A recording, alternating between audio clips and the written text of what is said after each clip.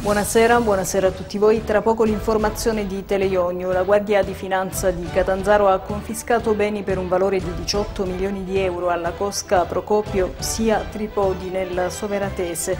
E sempre la Guardia di Finanza di Vibo Valencia ha individuato 5 piantagioni di canapa indiana nel territorio di Fabrizia. Incidente stradale a Caminia coinvolte tre auto, tre i feriti.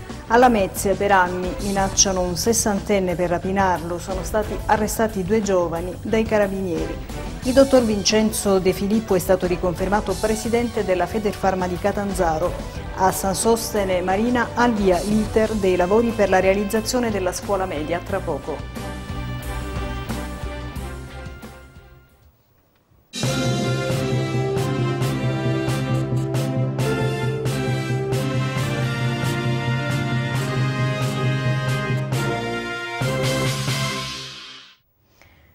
Benvenuti all'informazione di Teleionio. La Guardia di Finanza di Catanzaro ha confiscato beni per un valore di 18 milioni di euro alla Cosca Procopio, sia Tripodi nel Soveratese. Vediamo.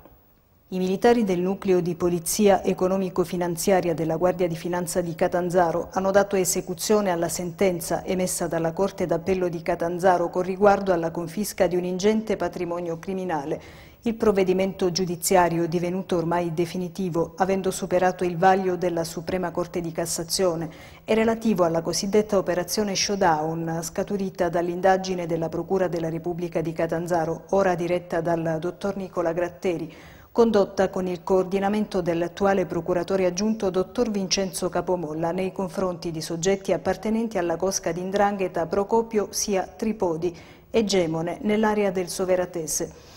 L'indagine culminata inizialmente nel dicembre 2011 nel fermo di indiziati di delitto anche per il reato di associazione di tipo ndranghetistico e altri reati e nel sequestro d'urgenza di un rilevantissimo compendio di beni, cui seguivano successive misure cautelari personali e reali, poneva fine ad una complessa vicenda criminale finalizzata al controllo criminale ed economico del territorio del Basso Ionio catanzarese, caratterizzata da eventi omicidiari di efferata crudeltà, gli accertamenti patrimoniali svolti dai finanzieri del nucleo di Catanzaro eseguiti mediante la capillare e meticolosa ricostruzione degli articolati assetti societari delle principali operazioni finanziarie poste in essere il conseguente incrocio dei dati con le risultanze dell'attività tecnica e dell'attività infoinvestigativa svolta sul territorio di riferimento consentivano di ricostruire gli interessi economici della Cosca realizzati mediante il ricorso a schermi societari e a fittizie intestazioni di beni e attività economiche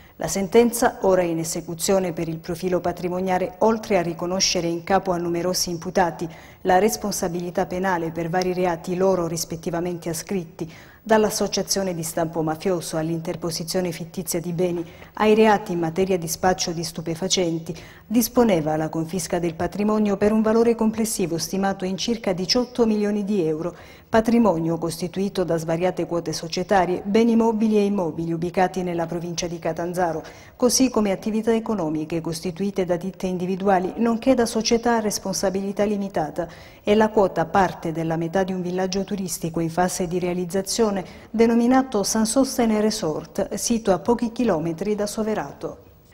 La Guardia di Finanza di Vibo Valencia ha individuato cinque piantagioni di canapa indiana nel territorio di Fabrizia. Vediamo.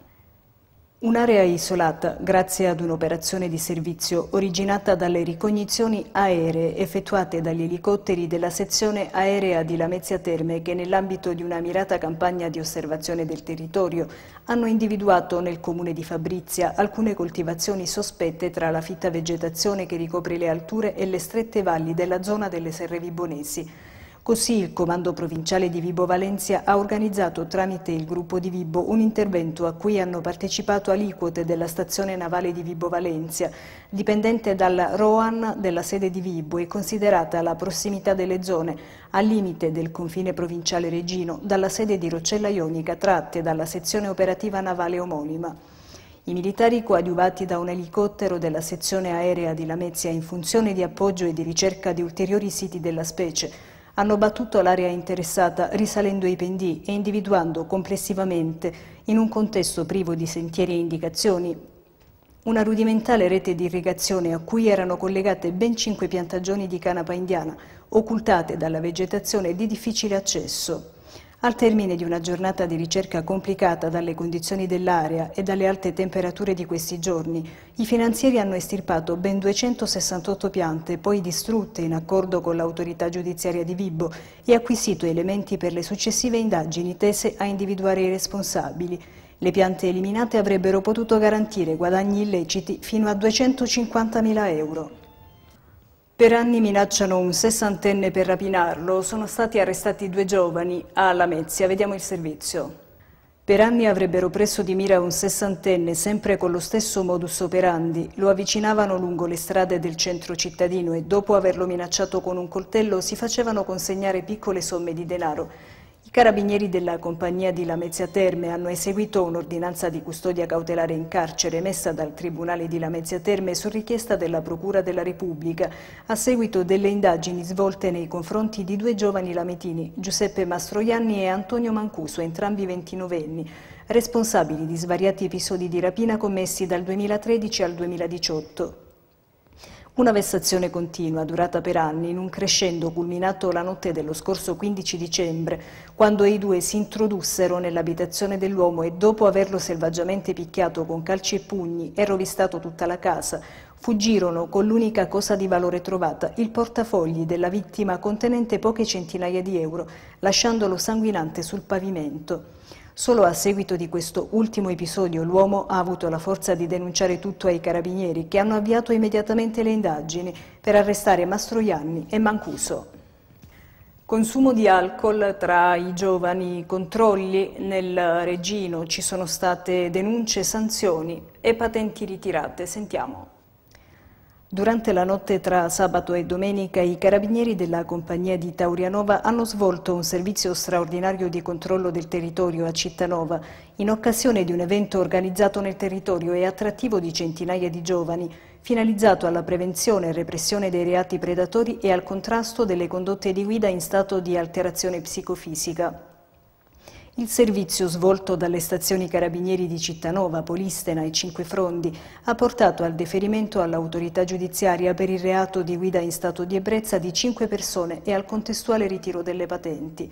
Nel corso dei controlli stradali disposti per scoraggiare il consumo di alcol fra i giovani guidatori, infatti, un diciannovenne di Rosarno è stato fermato alla guida in evidente stato di alterazione e sottoposto ai previsti accertamenti e risultato positivo agli esami alcolemici con un tasso superiore all'1,5.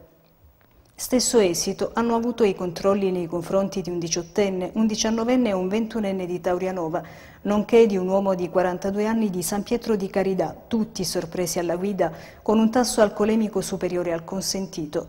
I cinque sono stati deferiti all'autorità giudiziaria per il reato di guida in stato di ebbrezza. Dovranno rinunciare alla patente ritirata dai carabinieri per un periodo compreso tra sei mesi e due anni e dovranno pagare una multa da 500 a 6 mila euro oltre alla condanna penale. Nel corso della notte sono state controllate complessivamente 54 persone e 23 mezzi ed elevate altre 6 sanzioni amministrative per violazioni al codice della strada. Tale servizio rientra nella più ampia azione di contrasto dei carabinieri della compagnia di Taurianova contro i reati predatori nel territorio, il porto di armi o oggetti atti ad offendere e la prevenzione e repressione delle condotte di guida in stato di alterazione psicofisica dei giovani, soprattutto nel fine settimana. Queste ultime potenziale causa di gravi incidenti stradali. Alla Mezia tre donne sorprese a rubare aggrediscono la commessa, sono state denunciate, vediamo. Con la complicità della Fiera di Sant'Antonio e del via vai della gente, tre donne hanno ben pensato di attuare un furto in un esercizio commerciale gestito da cittadini cinesi di via Federico Nicotera all'ora di chiusura. Colpo finito male perché dopo essere state scoperte hanno proceduto al pagamento dei capi di abbigliamento che precedentemente avrebbero cercato di sottrarre illecitamente. Quando sembrava essersi tutto risolto, le tre, da quanto si apprende siciliane di etnia rom, in città per via della fiera, hanno ben pensato di scagliarsi contro la commessa che le aveva notate mentre cercavano di occultare la merce, colpevole a loro parere di aver fatto la spia. Sul posto la Polizia di Stato, guidata dal dirigente Alessandro Tocco, che, allertata dai proprietari dell'attività, ha visionato le registrazioni delle telecamere riuscendo a cogliere le tre sul fatto. Le donne che avevano tentato di dileguarsi nella folla sono state identificate e denunciate per lesioni. Il negozio era già stato oggetto di furto nei mesi scorsi. Sorpreso a pescare ricci sul lungomare di Crotone è stato multato un 55enne. Vediamo. Ammonta a 4.000 euro la sanzione amministrativa combinata ad un cittadino crotonese sorpreso dai militari della Capitaneria di Porto a pescare esemplari di riccio di mare lungo il litorale della città pitagorica. Il 55enne era intento a pulire con cura i preziosi echinodermi al fine di riempire dei vasetti che con ogni probabilità sarebbero poi stati venduti per trarne illecito profitto. Il litorale, storicamente riconosciuto quale inestimabile bene ambientale e caratterizzato da un prezioso ecosistema marino, di cui i ricci di mare ne costituiscono un valore aggiunto, oggi più che mai necessita di un'accurata preservazione al fine di evitare che l'attività antropica e a maggior ragione quella non autorizzata ne provochi un repentino e incontrastabile declino e proprio al fine di tutelare l'ecosistema marino che il prodotto ittico ancora vivo a seguito di sequestro è stato rigettato in mare. Incidente stradale a Caminia sono state coinvolte tre auto, tre sono i feriti, vediamo. Un incidente stradale si è verificato ieri sera sulla strada statale 106 in prossimità dello svincolo località Caminia Pietragrande nel comune di Staletti. Tre le vetture coinvolte, una Lancia Y che a seguito dell'impatto si è ribaltata, una Ford Mondeo e una Ford Vignale. Tre i feriti, fortunatamente lievi, attualmente in cura dal personale sanitario del 118. Forti i disagi per la viabilità. Nel tratto interessato si è proceduto su un'unica corsia a senso alternato. Sul posto sono intervenuti la Polizia Stradale per gli accertamenti circa la dinamica dell'incidente e i Vigili del Fuoco del Comando di Catanzaro, distaccamento di Soverato, necessari per mettere in sicurezza le auto in attesa del soccorso stradale e del ripristino delle normali condizioni di sicurezza della carreggiata. Staletti tutela dell'ambiente e sostenibilità del territorio grazie ad una collaborazione tra amministrazione e consorzio di bonifica. Sentiamo i particolari. Continua l'attenta attività di manutenzione del territorio operata con costanza ed edizione dagli amministratori del comune di Staletti. Un maggiore attivismo al servizio della propria popolazione è stato garantito dalla collaborazione ottenuta con il Consorzio di Bonifica Ionio Catanzarese. Difatti, come dichiarato dal delegato ai lavori pubblici, ambiente e territorio del comune ionico Francesco Fragomele, alle porte della stagione estiva siamo riusciti a garantire uno sforzo maggiore per rendere all'intero territorio di Staletti il valore, il decoro e la vivibilità che merita. Dobbiamo ringraziare per l'impegno e la mirabile disponibilità profusa il Presidente del Consorzio di Bonifica Grazioso Manno, nonché il Direttore dei lavori del Consorzio Ingegner Michele Curcio. Infatti, grazie ad una nuova collaborazione tra i due enti, si è riusciti ad assicurare l'intervento di un mezzo meccanico di proprietà del Consorzio, messo a disposizione per la pulizia e la bonifica di ampie aree del territorio comunale interessate da eccessiva vegetazione infestante, difficilmente gestibili con i mezzi tradizionali. I lavori hanno inoltre interessato la maggior parte delle strade interpoderali e comunali con alto indice di traffico, considerate in alcuni casi arterie principali per l'ingresso in paese dalle zone marine.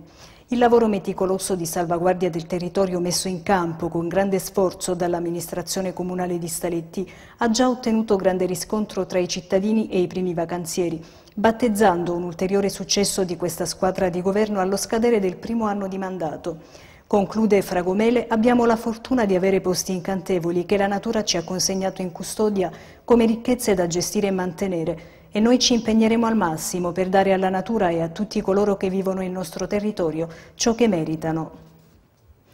Ci fermiamo per qualche istante, a tra poco. Riprendiamo l'informazione. Il dottor Vincenzo De Filippo è stato riconfermato presidente della Federfarma di Catanzaro. Vediamo. Vincenzo De Filippo è stato confermato per un nuovo triennio alla presidenza di Federfarma Catanzaro e l'esito della riunione con cui ieri si è insediato il consiglio direttivo dell'associazione provinciale, rinnovato sabato e domenica scorsi dall'assemblea elettiva degli iscritti. Il consiglio direttivo per questo nuovo mandato è così composto. Presidente dottor Vincenzo De Filippo, vicepresidente dottor Luciano Leone, segretario dottor Stefano Raspa, Tesoriere dottor Santi Salvatore Apollo, consiglieri dottor Riccardo Durante, dottor Vitaliano Corapi, dottor Danilo Trimini, rappresentante rurale dottoressa Maria Cristina Murone. Ringrazio ancora tutti per la fiducia accordata, commenta De Filippo. Siamo tutti pronti a lavorare per un altro triennio con l'obiettivo di rafforzare la farmacia del territorio e darle sempre nuovi contenuti. In conclusione sono certo che la rete delle farmacie e i professionisti che in esse vi operano hanno tutte le potenzialità per consolidare il proprio ruolo primario nell'ambito del servizio sanitario e Federfarma Catanzaro, attraverso i suoi rappresentanti associati, moltiplicherà i propri sforzi per assicurare il conseguimento di tutti questi importanti obiettivi. L'auspicio mio e dei colleghi è che le autorità competenti, e mi riferisco soprattutto ad ASP e Regione, condividano i nostri sforzi e facciano tutto ciò che è in loro potere per valorizzare appieno le nostre grandi potenzialità. Ha soverato la riunione con gli ecocontadini. Vediamo il servizio.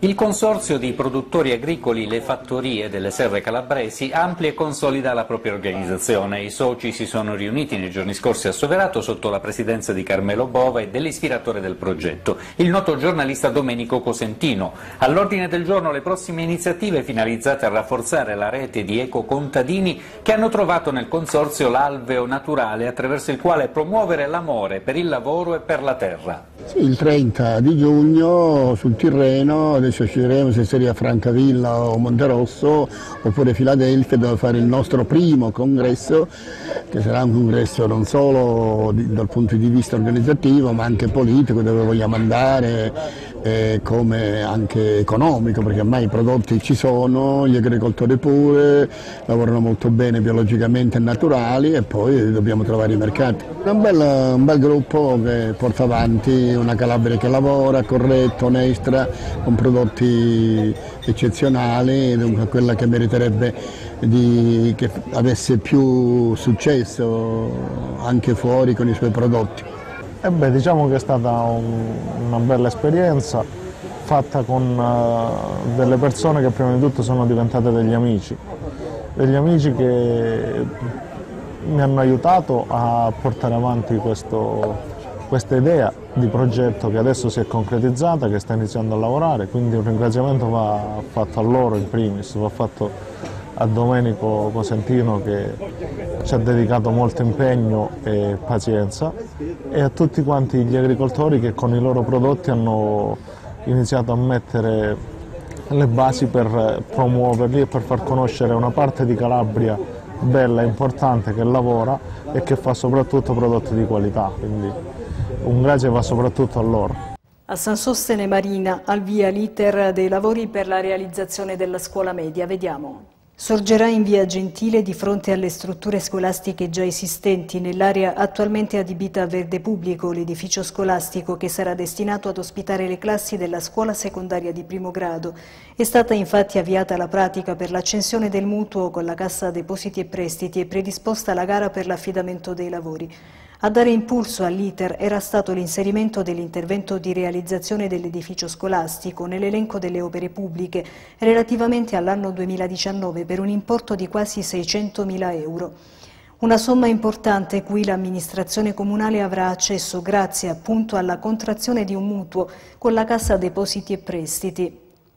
Un'opera pubblica fondamentale per dotare la cittadina ionica di tutti gli spazi necessari alla popolazione scolastica e al pieno e funzionale svolgimento delle attività didattiche. Noi abbiamo dato sempre molta importanza, dico sempre alla sostanza, molta importanza alla cultura. Negli anni abbiamo messo a punto, messo in sicurezza della, della scuola, abbiamo ampliato edifici scolastici, ora addirittura ne realizziamo uno nuovo in modo che scuola materna avrà un suo edificio, la scuola elementare avrà un suo edificio in quelli attuali e la scuola media avrà un suo edificio, quello che noi realizzeremo.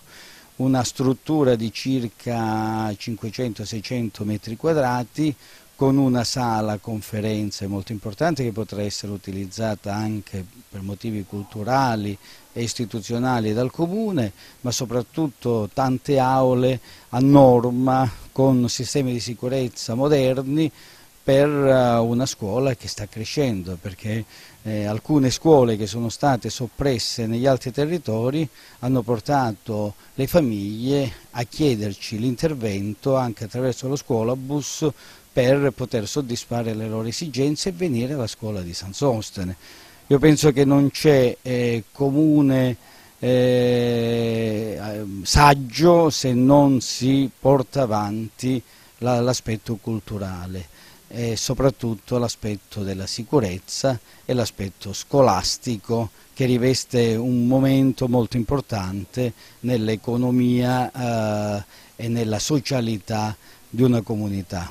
E noi stiamo cercando di fare quelle attività, quelle opere che sono essenziali perché i servizi sono importanti quanto altre opere eh, magari di valenza estetica eh, e, e, basta. Quindi è una struttura assolutamente nuova che viene ad essere collocata sempre in via Gentile, di fronte alle attuali scuole, vicino alle chiese, vicino l'area verde attrezzata e il campetto, quindi tutte strutture che potranno anche essere servite per la scuola. Anche ieri il campetto in erba sintetica che noi abbiamo realizzato è stato sfruttato dagli alunni della scuola su richiesta del dirigente scolastico, quindi diciamo che è una sinergia piena, eh, comune, eh, istituzioni scolastiche e questa collaborazione necessita certamente delle strutture nuove e un approfondimento della parte culturale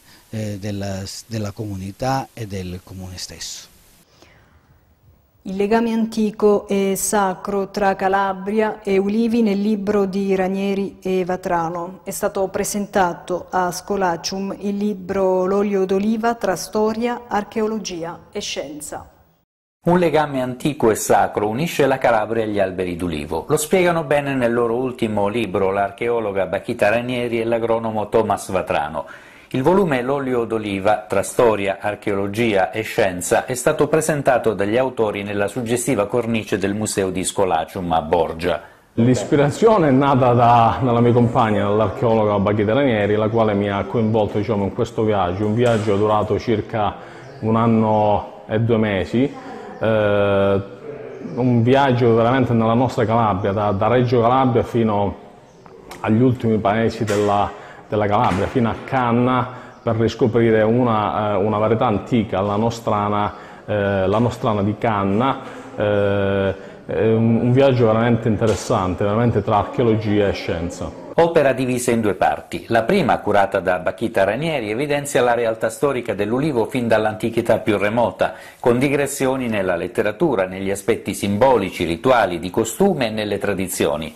Nella seconda, Thomas Vatrano si concentra sulla produzione e l'impiego dell'olio in età contemporanea, spaziando nella botanica, nella chimica, nelle pratiche di commercio e nell'arte culinaria. Sì, ripartendo proprio dalla Magna Grecia, facendo un excursus dai greci, romani, eh, partendo anche dalle fonti storiche e archeologiche, abbiamo trattato questo tema di archeologia inerente all'olio d'olivo, gli antichi contenitori, le anfore da trasporto, le lucerne, Particolarmente dettagliato il capitolo conclusivo sul germoplasma olivicolo calabrese, con una serie di schede varietali contenenti informazioni sulle aree di coltivazione nonché sulle caratteristiche sensoriali e qualitative dell'olio.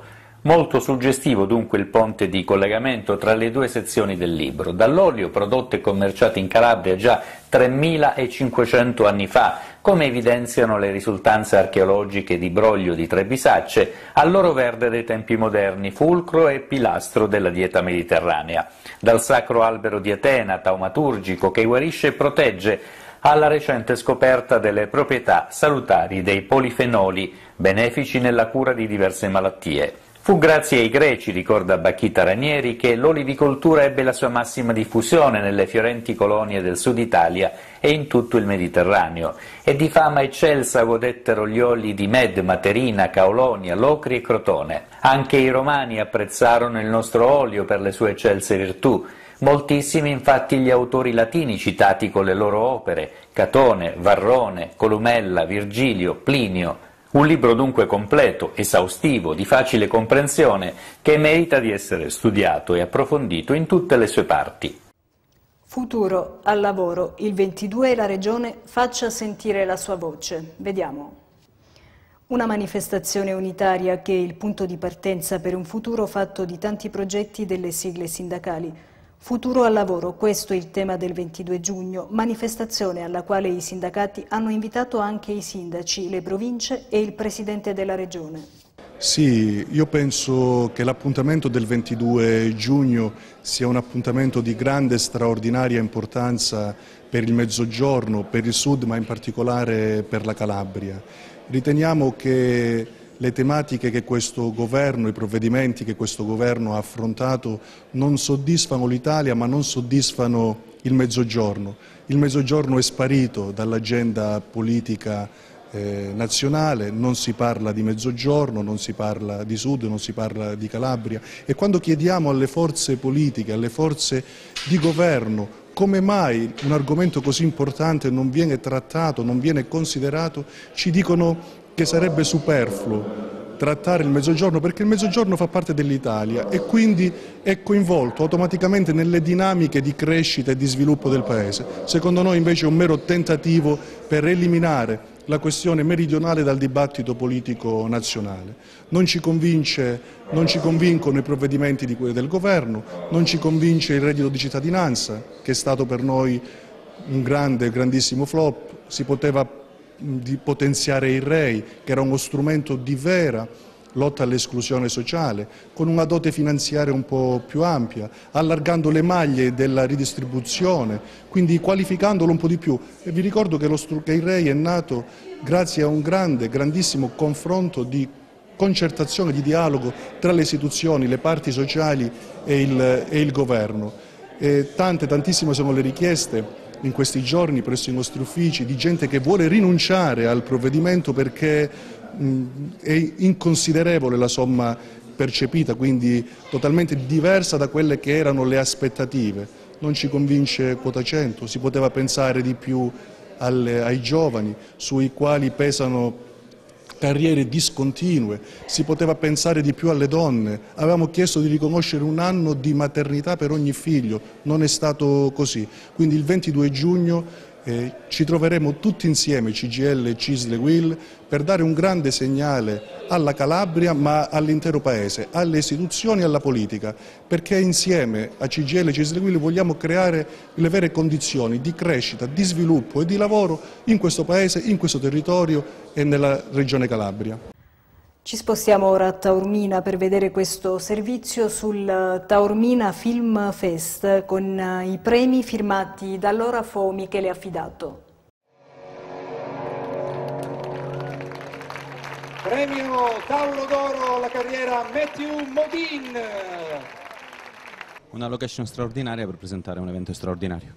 Beh, un evento importante, il secondo festival eh, in Italia eh, per età, eh, la 65esima edizione, è un festival costruito per dare eh, una prospettiva molto più ampia, un festival internazionale con oltre 70 titoli, con tante anteprime mondiali, tante anteprime nazionali, tanti ospiti da Nicole Kidman a Julia Ormond a Bruce Beresford ad Octavia Spencer a Richard Dreyfus eh, ad Oliver Stone, presidente di giuria, eh, ci sarà la giuria documentari, la giuria mh, future dei film in competizione, ci sarà il center stage, un campus che darà eh, la possibilità ai tanti giovani di eh, avvicinarsi a questo meraviglioso mondo, quindi avere gli addetti ai lavori a stretto contatto. Eh, abbiamo ripreso um, i premi istituiti da Rondi nel 1970, abbiamo il nostro maestro orafo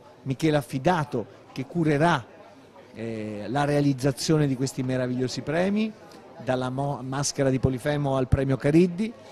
Insomma, abbiamo costruito un festival eh, per tutti, per avvicinare il più possibile la gente al cinema e far vedere delle opere che difficilmente si ha la possibilità di vedere. I premi sono realizzati dal maestro orafo Michele Affidato, li potete ammirare e vedere. Abbiamo aggiunto anche sezioni non completate 65esima edizione del Taormina Film Fest, un festival internazionale del cinema, un festival che ha pensato al maestro Orafo Michele Affidato per la realizzazione dei premi. Sì, un festival importante, un festival che mi vede protagonista con la realizzazione dei premi e questo veramente mi fa piacere poter legare ecco, il mio nome a questo fantastico evento, alla città di Taormina, al mondo del cinema, al Taormina Film Festival. Per l'occasione è il secondo anno consecutivo che realizzo il Taormina Award, eh, per l'occasione ho realizzato gli otto premi alla carriera del Taormina Award che consiste in una scultura dove ho raffigurato una pellicola cinematografica e poi la moneta dove è stato inserito il toro, dove prende il nome della città di Taormina e ho realizzato anche i premi per il Cariddi d'Oro e il Cariddi d'Argento che viene dato premio alla professionalità e poi la, anche la maschera di Polifemo, quindi anche altri premi che quest'anno si aggiungono a quelli diversi che ho realizzato lo scorso anno e consistono in un bassilevo d'argento con foglia oro. La cui sceneggiatura è tratta da un romanzo invece inglese del 1905 scritto da Hitchens che era un inglese che... Sì, eh, innanzitutto c'è appunto questa edizione molto bella perché è un anno che si lavora, questo significa programmazione, la programmazione paga sempre. Questo penso che debba eh, suggerirci di chiudere il 6, il 7 di luglio e immediatamente partire almeno con una programmazione triennale. Eh, l'altro elemento è che la città questa volta viene coinvolta, avremo particolari addobbi, particolare coinvolgimento del centro storico eh, perché vogliamo sottolineare il fatto che Taormina diventa protagonista, Taormina città, protagonista anche del suo festival e questo viene sottolineato dalla proiezione eh, fatta il primo giorno, il 30 di giugno, di un film girato a Taormina, interamente a Taormina, esattamente cento anni fa, un film muto di eh, produzione francese, questo per avvicinare i cittadini al festival e il festival ai cittadini, che voglio sottolinearlo è l'unico festival di Taormina. Eh, nessuno si permetterebbe mai di organizzare anche soltanto un'iniziativa secondaria a Venezia o a Cannes, senza voler fare paragoni ovviamente impropri, ma nessuno si permetterebbe lì di chiamare una serata o un'iniziativa eh, con le parole cinema o film, visto che c'è un festival ufficiale dedicato al cinema. E questo qui invece avviene e noi lo dobbiamo assolutamente eliminare. Questo è l'unico vero festival ed è l'unico che può denominarsi così. Io che saluto a Roma, non ci conosciamo ma passeremo una settimana insieme, quindi Rossio mi raccomando coordiniamoci sugli abiti. Grazie. Ciao.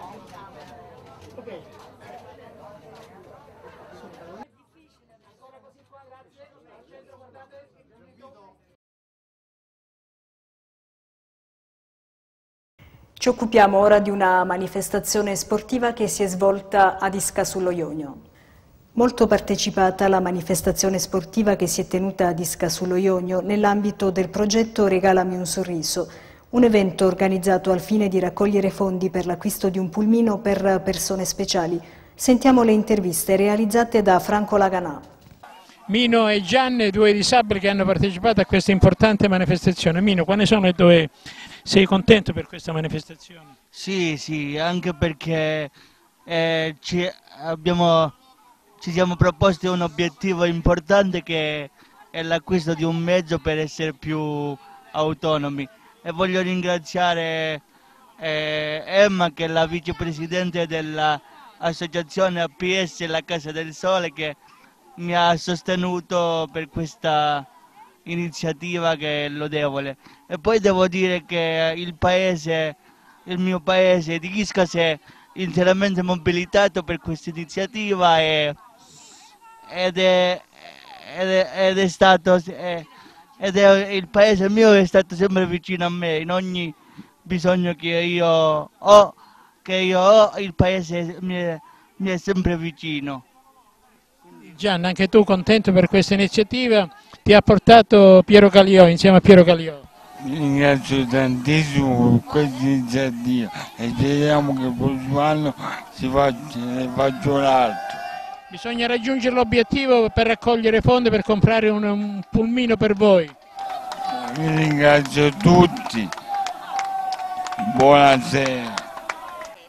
Giuseppina Noia, una bella manifestazione e siamo stati insieme i disabili e i cittadini di Isca. Sì, non ci aspettavamo che partecipassero così numerosi, siamo contentissimi, perché questo ci fa capire quanto la sensibilità della gente verso questi ragazzi e verso questo progetto sia grande. E speriamo di raggiungere il nostro obiettivo che è quello di acquistare questo mezzo di trasporto per questi ragazzi al più presto.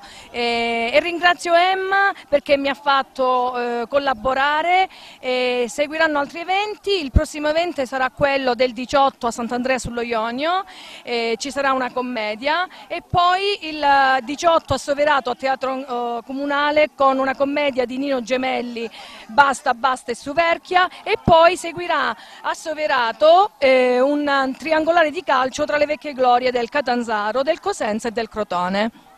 Sindaco, l'amministrazione comunale è vicina a questa iniziativa. Sì, l'amministrazione comunale è vicinissima a questa iniziativa e devo dire è un evento che mi ha fatto emozionare tantissimo perché ho visto eh, i miei cittadini scendere tutti quanti in strada, mobilitarsi per questa lodevole iniziativa. E alla fine mi hanno, mi hanno convinto a partecipare pure io anche se dall'abbigliamento non si direbbe e devo dire che è stata veramente una passeggiata eh, piacevole dove abbiamo superato il caldo, la stanchezza e tutto quanto. Una corsa eh, di solidarietà, eh, una corsa per raggiungere un grande obiettivo, quello di acquistare un mezzo di trasporto per i nostri amici speciali. E, come dicevo prima, prima dell'inizio della gara, è una gara dove già solo a partecipare eh, si vince.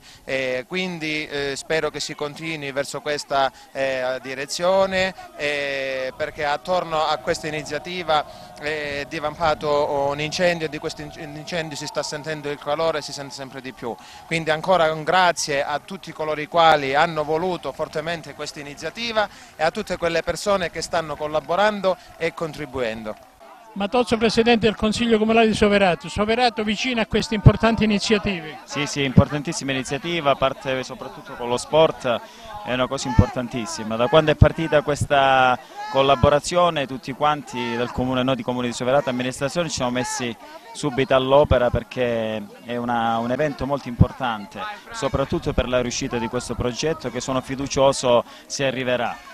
Oggi è stata una bellissima manifestazione, hanno vinto tutti quanti, queste persone speciali ci hanno messo veramente il cuore, io sono rimasto veramente sbalordito dalla voglia eh, che avevano di arrivare al traguardo. Hanno partecipato tutti quanti anche a fare delle piccole passeggiate, però voglio dire è un uh, punto di aggregazione che serve anche questo per risolvere determinate problematiche.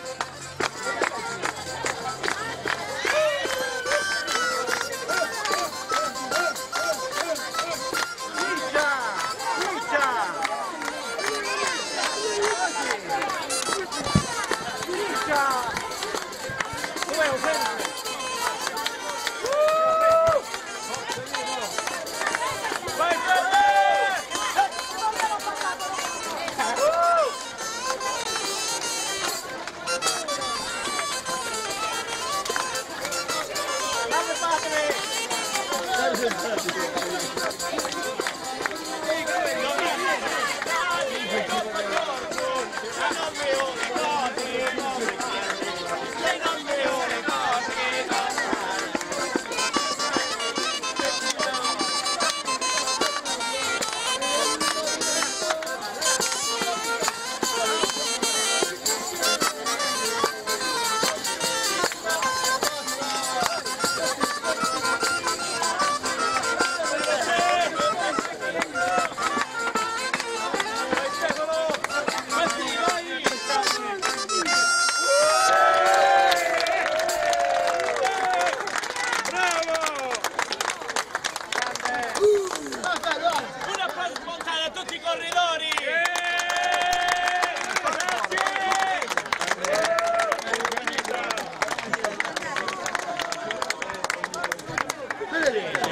Bene, tutto per oggi, grazie per averci seguito, arrivederci.